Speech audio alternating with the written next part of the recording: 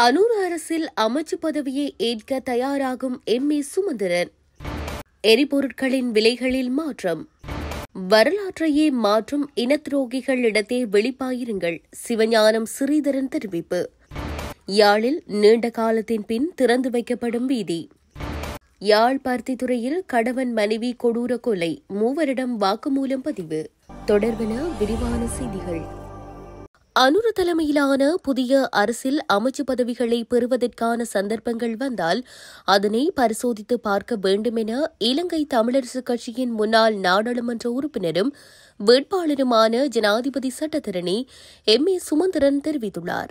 யாழ் ஊடக அமையத்தில் நேற்று நடத்திய ஊடக சந்திப்பின் போது அமைச்சு பதவிகள் தொடர்பில் எழுப்பப்பட்ட கேள்விகளுக்கு பதிலளிக்கும் போதே அவர் மேற்கண்டவாறு குறிப்பிட்டுள்ளார்.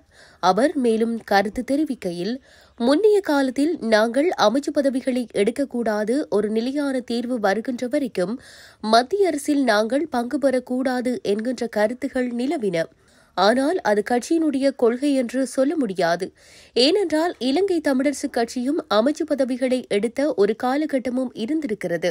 ஆகவே அப்படியான ஒரு சூழ்நிலை வருகின்ற போது நாங்கள் என்ன செய்ய வேண்டும் என்று அந்த நேரத்தில் தான் ஒரு தீர்மானம் எடுக்க வேண்டும். எனினும் என்னுடைய சொந்த நிலைப்பாடு செல்லையா குமார சூரியவை போலவோ அல்லது லக்ஷ்மன் கதிர்காமரை போலவோ அல்லது டக்ளஸ் தேவானந்தாவை போலவோ தனியொரு அமைச்சராக அமைச்சரவையில் போய் சேருவதென்பது மக்களுக்கு நன்மை பயக்காது. ஆனால் முருகேசு திருச்செல்வம் போல் கட்சி சார்பாக கட்சியினுடைய தீர்மானமாக மக்களும் அதனை ஏற்றுக்கொண்டு அமைச்சரவையில் சேர்ந்தார். ஆனால் அமைச்சராக இருந்தும் நடைமுறைப்படுத்த முடியவில்லை என தெரிந்த உடனேயே கட்சியின் கட்டளைப்படி அரிவாசி காலத்திலேயே அமைச்சு பதவியை அவர் பதவி விலகல் செய்து வெளியே வந்தார். அது வித்தியாசமான ஒரு விடயம். எங்களுடைய மக்களையும் கட்சியையும் பிரபலப்படுத்தி இரண்டோ மூன்று பேர் அமைச்சரவையில் சேர்ந்திருந்து செயற்பட்டு எங்களுக்கான தீர்வுகளை பெறுவதென்பதும் நாங்கள் கண்கொண்டு பார்க்க மாட்டோம். அப்படியான தெரிவு எங்களுக்கு கிடையாது என்ற நிலைப்பாட்டில் இருக்கக்கூடாது என எம் ஏ சுமந்திரன் தெரிவித்துள்ளார். சினோபெக் நிறுவனம் நேற்று நள்ளிரவு முதல் நடைமுறைக்கு வரும் வகையில் எரிபொருட்களின் விலைகளை குறைத்துள்ளது. இதன்படி ஒக்டேன் தொன்னூற்றி ஐந்து ரக பெட்ரோல் லீட்டர் ஒன்றின் விலை ஆறு ரூபாவினால் குறைக்கப்பட்டுள்ளதுடன் அதன் புதிய விலை முன்னூற்று எழுபத்தொரு ரூபாவாகும். அத்துடன் சூப்பர் டீசல் லீட்டர் ஒன்றின் விலை ஆறு ரூபாவினால் குறைக்கப்பட்டுள்ளது. அதற்கமைய அதன் புதிய விலை முன்னூற்று பதிமூன்று ரூபாவாகும். ஒக்டேன் தொன்னூற்றி இரண்டு ரக பெட்ரோலின் விலை முன்னூற்று பதினோரு ரூபாய் என்ற விலையிலேயே மாற்றமின்றி தொடரும் எனவும் தெரிவித்துள்ளது.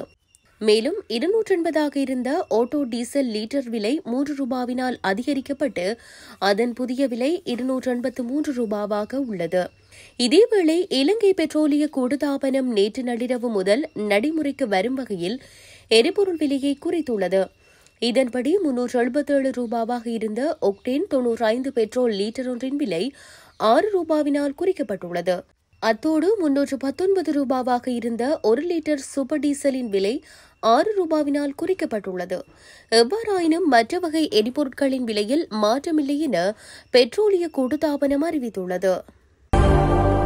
ஈழத்தமிழர்களின் வரலாற்றை மாற்றும் முயற்சியில் இனத்துரோகிகள் சிலர் ஈடுபட்டு வருகின்றனர் என முன்னாள் நாடாளுமன்ற உறுப்பினர் சிவஞானம் ஸ்ரீதரன் தெரிவித்துள்ளார். கிளிநொச்சி வட்டக்கச்சி பகுதியில் நேற்று தினம் இடம்பெற்ற தேர்தல் பிரச்சார கூட்டத்தில் உரையாற்றும் போதே அவர் மேற்கண்டவாறு தெரிவித்தார். இங்கு மேலும் கருத்து தெரிவித்த ஸ்ரீதரன் எமது இனத்தின் இருப்பிற்கான அடிப்படை கட்டமைப்புகள் அத்தனையையும் நீண்டகால நோக்கத்துடனும் நிபுணத்துவ ஆற்றலோடும் நிறுவிய தமிழீழ விடுதலை புலிகளின் சிந்தனையிலும் செயல் நோக்கத்திலும் உருவாக்கம் பெற்றதுதான் அறிவியல் நகரில் அமைந்துள்ள யாழ்ப்பாண பல்கலைக்கழகத்தின் கிளிநொச்சி வளாகம். ஆனால் அதன் உருவாக்கத்தில் ஒரு துரும்பைத்தானும் அசைத்திராத வடக்கில் உள்ள முன்னாள் அமைச்சர் ஒருவர் அத்தகைய வரலாற்று பெரும்பணிக்கு தற்போது உரிமை கோரி வருகிறார். மேலும் ஈழத்தமிழர்களின் வரலாற்றை மாற்றும் முயற்சியில் இனத்துரோகிகள் சிலர் ஈடுபட்டும் வருகிறார்கள். எங்களது வரலாறுகளை மறைத்தும் திரித்தும் வரும் இத்தகைய இனத்துரோகிகள் தொடர்பில் எமது மக்களும் இளைய தலைமுறையினரும் விழிப்பாய் இருக்க வேண்டும் என அவர் மேலும் தெரிவித்துள்ளார். யாழ்ப்பாணத்தில் நீண்ட காலமாக மூடப்பட்டிருந்த வீதியொன்று மக்கள் பாவனைக்காக திறந்து வைக்கப்பட உள்ளது. யாழ் வசாபிளான் மத்திய கல்லூரியூடாக அஜுவேலி நோக்கி செல்கின்ற சுமார் இரண்டு கிலோமீட்டர் தூரம் கொண்ட வீதியே நீண்ட காலமாக மூடப்பட்டிருந்த நிலையில் திறந்து வைக்கப்பட உள்ளது. இந்த வீதியை இன்றைய தினம் யாழ்ப்பாண மாவட்ட ராணுவ கட்டளை தளபதி மேஜர் ஜெனரல் சந்தன விக்ரமசிங்க திறந்து வைப்பார் என தெரிவிக்கப்படுகின்றது. ராணுவ முகாமிற்கு அருகாமையில் உள்ள குறித்த வீதியானது நீண்ட காலமாக மூடப்பட்டிருந்தது. இந்நிலையில் வடக்கு மாகாண ஆளுநர் வேதநாயகன் அண்மையில் ஜனாதிபதி அனுரகுமார திசாநாயக்கவுடனான சந்திப்பின் போது குறித்த வீதியை திறந்து வைத்து மக்களின் போக்குவரத்திற்கு வழி சமைக்குமாறு கோரிக்கை முன்வைத்திருந்தமை குறிப்பிடத்தக்கது. யாழ்ப்பாணம் பருத்தித்துறை போலீஸ் பிரிவுக்குட்பட்ட கற்கோவளம் வீரபத்திரர் கோவிலடி பகுதியில் கணவன் மனைவி இருவர் கொலை செய்யப்பட்ட நிலையில் சடலமாக மீட்கப்பட்டனர். இச்சம்பவம் நேற்று முன்தினம் இடம்பெற்றுள்ளது. உயிரிழந்த இருவரும் கொங்கிரீட் கற்களால் தலையில் தாக்கப்பட்டு கொடூரமான முறையில் படுகொலை செய்யப்பட்டுள்ளனர் என்றும் குறித்த கொலையுடன் சம்பந்தப்பட்டவர்கள் எனும் சந்தேகத்தின் பேரில் மூவரிடம் பருத்தித்துறை போலீசார் வாக்குமூலம் பெற்று வருகின்றனர். பருத்தித்துறை ஆதார வைத்தியசாலையில் ஒப்பந்த அடிப்படையில் சலவை தொழிலில் ஈடுபட்டு வரும் ஐம்பத்தி மூன்று வயதுடைய மாணிக்கம் சுப்பிரமணியம் அவரது மனைவியான ஐம்பத்தி நான்கு வயதுடைய சுப்பிரமணியம் மேரி ரீட்டா ஆகியோரே இவ்வாறு கொலை செய்யப்பட்ட நிலையில் சடலமாக மீட்கப்பட்டனர். அவர்களின் வீட்டிற்கு நேற்று காலை அயலவர்கள் சென்று பார்த்தபோது இருவரும் உயிரிழந்த நிலையில் சடலமாக காணப்பட்டுள்ளனர். சம்பவம் குறித்து பருத்தித்துறை போலீசார் மற்றும் மாவட்ட குற்றத்தடுப்பு போலீஸ் பொறுப்பதிகாரி சேந்தன் தலைமையிலான குழுவினர் என பல குழுக்கள் தீவிர விசாரணைகளில் ஈடுபட்டு வந்துள்ளனர். இவ்வாறான நிலையில் பருத்தித்துறை போலீஸ் நிலைய பொறுப்பதிகாரி தலைமையில் மூவரிடம் தொடர் வாக்குமூலம் பெறப்பட்டு வருகின்றது.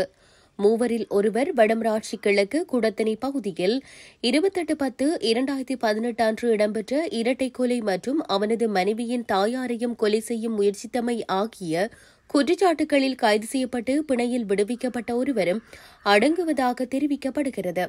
இச்சம்பவம் தொடர்பில் இதுவரை யாரும் உத்தியோகபூர்வமாக கைது செய்யப்படவில்லை என்பது குறிப்பிடத்தக்கது.